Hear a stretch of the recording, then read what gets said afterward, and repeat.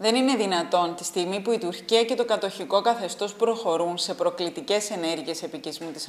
του, ο πρόεδρος της Δημοκρατίας να εμπλέκεται σε διαδικασίες σύγκλησης μιας νέας άτυπης διάσκεψης, μέσα από την οποία επιχειρείται πρόσθετη αναβάθμιση του κατοχικού καθεστώτος και μόνιμη μετατροπή του Κυπριακού σε θέμα δικοινοτικής διευθέτησης. Η Κυπριακή κυβέρνηση μπορεί και οφείλει να προχωρήσει στη λήψη πολιτικών και οικονομικών μέτρων σε βάρος του κατοχικού καθεστώτος ως απάντηση στις προκλητικές και παράνομες ενέργειες για επικισμό της αμοχώς του.